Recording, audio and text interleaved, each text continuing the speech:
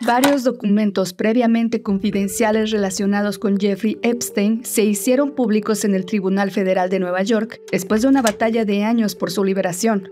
El primero de lo que se espera que sean cientos de documentos que identifican a más de 150 personas fue revelado este 3 de enero tras una orden del mes pasado de la jueza de distrito estadounidense Loretta A. Presca. Los documentos se presentaron redactados como parte de una demanda de 2015 contra Ghislaine Maxwell, quien solía ser amante y socia de Epstein, y fue condenada en 2021.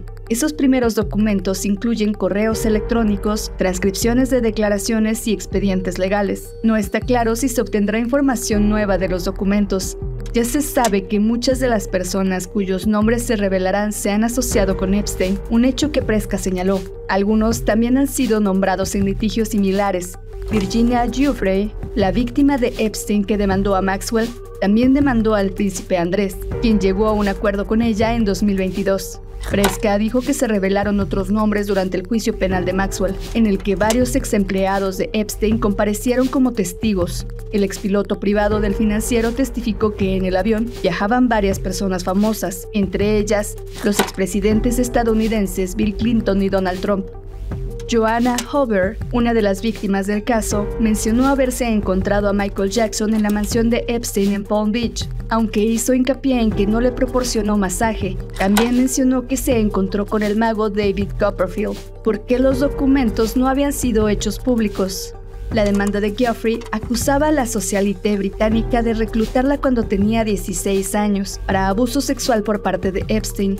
Después de que Maxwell la llamara mentirosa, Geoffrey también presentó una demanda por difamación. Los dos llegaron a un acuerdo en 2017, pero el Miami Herald le pidió al juez que revelara el material presentado durante el caso. Varias objeciones tanto de Maxwell como de personas cuyos nombres aparecían en los documentos retrasaron el proceso incluso cuando los nombres se hicieron públicos por otros medios.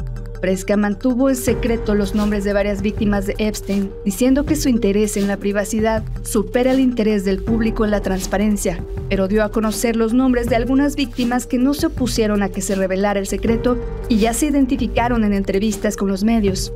Han pasado más de tres años desde que el multimillonario Jeffrey Epstein fue encontrado muerto en su celda, donde esperaba un juicio por tráfico sexual. El estadounidense se convirtió en una figura prominente en los círculos financieros y sociales antes de que su carrera y reputación se vieran empañadas por una serie de escándalos y acusaciones.